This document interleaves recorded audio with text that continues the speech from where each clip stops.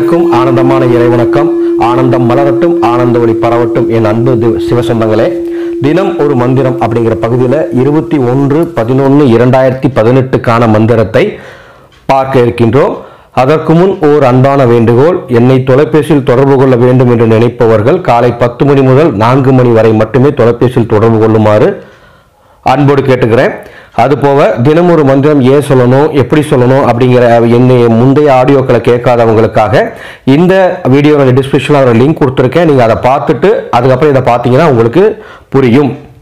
அதை போல ஜோதிடத்தை பற்றி முழுமையாக நீங்கள் புரிந்து கொள்வதற்காக ஒரு ஜோதிட சேனல் தனியாக ஆரம்பிச்சிருக்கோம். அதனுடைய லிங்க்கும் இந்த டிஸ்கிரிப்ஷனில் கொடுத்துருக்கேன். பாருங்கள் பைராலி ஜோதிடம் அப்படிங்கிற அந்த சேனலுக்கும் சப்ஸ்கிரைப் பண்ணி உங்களுடைய ஆதரவு தருமாறு அன்போடு கேட்டுக்கிறேன். தினம் ஒரு மந்திரம் உங்களது ஒவ்வொரு நாளையும் ஆன்மீகத்துடன் மலரச் செய்வதற்கு துணை புரியும். இருபத்தொன்று பதினொன்று ரெண்டாயிரத்தி பதினெட்டு அதாவது நவம்பர் இருபத்தி ஒன்றாம் தேதி புதன்கிழமை கார்த்திகை மாதம் ஐந்தாம் நாள் நாம் சொல்ல வேண்டிய மந்திரம்.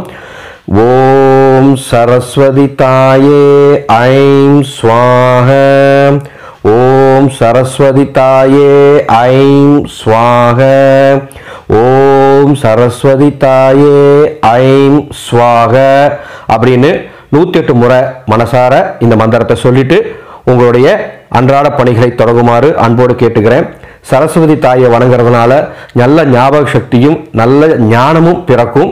இந்த மந்திரத்தை பரிபூர்ணமாக சொல்லிட்டு நீங்கள் உங்களது பணியை தொடங்குங்க. நீங்கள் எத்தனை மணிக்கு எழுந்தாலும் போல எழுந்து குளிச்சுட்டு இந்த மந்திரத்தை சொல்லிட்டு ப உங்களோட அன்ற அன்றாட அலுவல்களை பாருங்கள் படையெல்லாம் வந்து முடிஞ்சால் பழம் வச்சுக்கோங்க இல்லை ஒரு டம்ளர் தண்ணி வச்சுக்கோங்க. இந்த நல்ல விஷயத்தை எல்லாத்துக்கும் சொல்லுங்கள் எல்லாருக்கும் பரப்புங்க நண்பு சிவ சொந்தங்களே மீண்டும் அடுத்த ஒரு நல்ல தகவலோடு சந்திக்கிறேன். ஆனந்தம் மலரட்டும் ஆனந்த ஒளி பரவட்டும்.